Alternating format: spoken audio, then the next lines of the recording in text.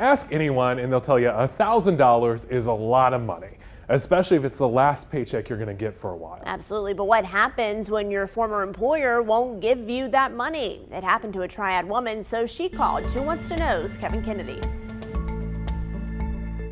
Many of us have had a job, didn't love it, and quit. I had given notice because I had been offered another job. Melissa McPherson's story is not that simple. Hired during the pandemic, there were immediate problems. The girl who trained me for my first two weeks there, she got COVID. Melissa tested. It came back negative, corporate involved. We got an email from corporate saying that we needed to shut the offices down.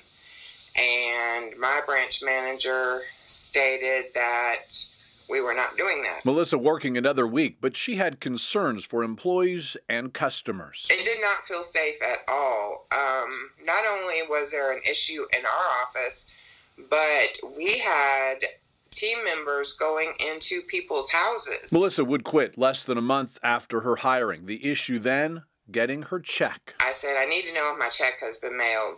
If you can't let me know if my check has been mailed or if I haven't gotten it in the next two days, I'm contacting my local news station. The check didn't arrive. Money she needed. Our phone rang. I have a 13 year old child at home and it was it was necessary that we get that check. We contacted someone in the corporate office. 48 hours later, the check was hand delivered. By Friday, sometime Friday, they hand delivered my check and stuck it in my front door. Here's a picture of that check, almost $1,000. You have no idea how much I appreciate it, how much I needed this assistance. Her bank also waiving a handful of overdraft charges. Melissa able to pay her bills with the money. Kevin Kennedy, two wants to know.